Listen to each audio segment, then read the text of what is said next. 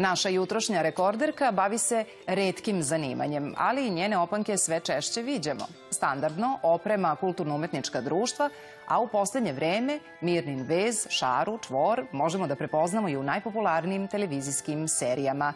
Mirnine opanke gledali smo u korenima, a i večeras ćemo ih tražiti na likovima nove serije Kralj Petar.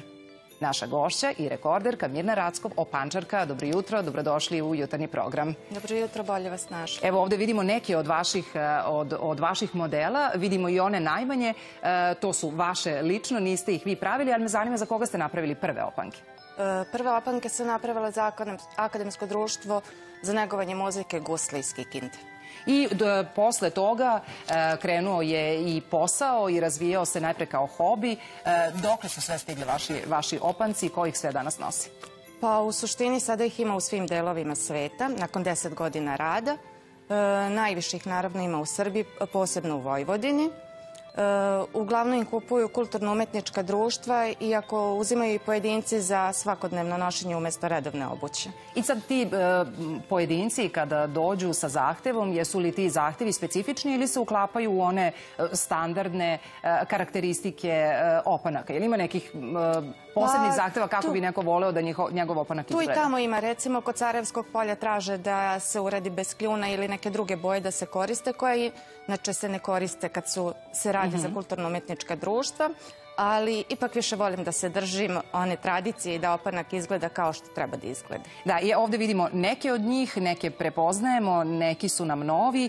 E, samo da pobrojim, e, pravili ste srbijanske pertlaše, slavonske kapičare, bosanske sarajevsko polje, makedonske, crnogorske, ukrajinske. E, možete li sada da kažete da vi možete da prepoznate i da znate svaku vrstu opanaka i da nijedan zahtev više ne može da vas iznenadi? Pa u suštini uvek postoje neki novi modeli.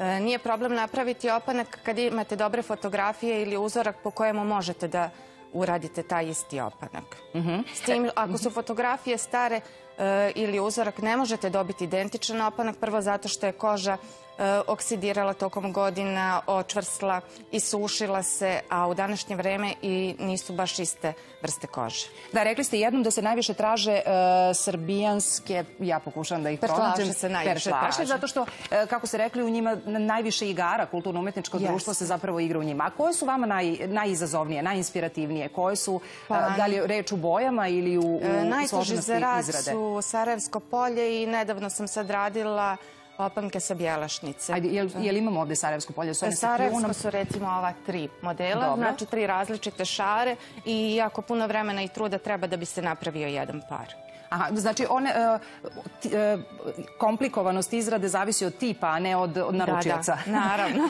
Bez obzira da li naručioci mogu da budu malo zahtevni. Uh, kakvi su naručioci bili u serijama? Pomenula sam da ste ih radili. U korenima smo prepoznavali vaše opanke i večeras počinje serija Kralj Petar na našem programu i tamo ćemo videti ono što ste radili. Jeste. Do saradnje je došlo preko kostimografa Borisa Čakširana. Prvo bitno za seriju Korena, posle za film, eto sad i u mhm. seriji.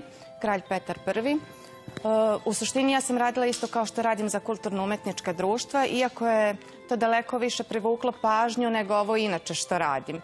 Mm I sigurno je dobro i dobra referenca i dobra preporuka Naravno, da su... pogotovo jer su serije baš bile, gle, serija je bila gledana takođe i film. E, vidite na malim ekranima poznate ličnosti u nečemu što ste sami napravili. Da. E, rekli ste sada da ste ovaj posao dobili po preporuci, odnosno angažovani ste bili po preporuci, a kada biste vi preporučivali svoj rad i svoje opanke, koje su to njihove karakteristike koje ih preporu, preporučuju u odnosu na ostale? Je to izgled, je to udobnost, je to vrsta kože koju koristite? U suštini najbitnija je vrsta kože, da je koža kvalitetna da biste dobili dobar opanak. To je prioritet u izradi opanaka. Vi koristite takvu, takvu kožu? Da. A kažete mi, e, da li je ovo isplati posao. Nama jeste interesantan. E, ima opančara u Srbiji, ali vi ste jedina registrovana opančarka, da, da, ne, da ne unosimo, da ne unosimo da. zabunu. E, može li od tog posla da se živi? Može li lepo da se zaradi? S jedne strane e, nije velika konkurencija, ali s druge strane nije baš ni potražnja za opancima u 21. veku nekako prevelika. U suštini može da se zaradi. Naravno, treba daleko više truda. Nemate tu rad od 8 sati u toku pet dana u nedelje. Radite svaki dan u suštini po ceo dan da biste mogli da izgurate sve. Prvo što morate da ispoštujete rokove, jer ako ne poštujete rokove nećete imati ni kupce. Onaj, potražnja jeste dosta velika. E, uglavnom kulturno-umetnička društva uzimaju. Njima je to ipak neki potrošni materijal, iako se koriste uglavnom samo na koncertima opanci.